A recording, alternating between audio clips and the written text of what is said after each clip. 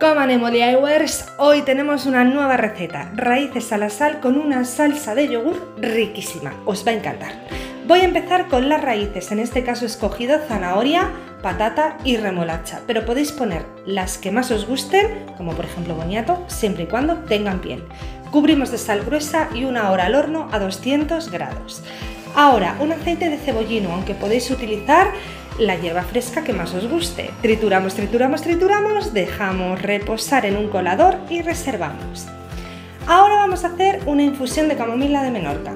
La tradición dice que hay que utilizar un número impar de florecitas.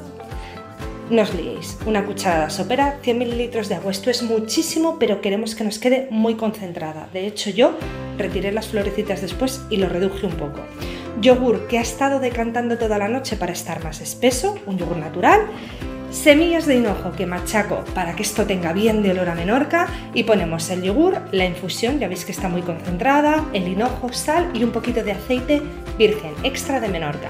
Mezclamos y ya la tenemos. Vamos a pelar y a trocear todas nuestras raíces. Se pelan fenomenal. Dejad que enfríen un poco y ya colocamos en el plato, ponemos la salsa de yogur buenísima, el aceite de cebollino y ya lo tenemos. Espero que os guste un montón.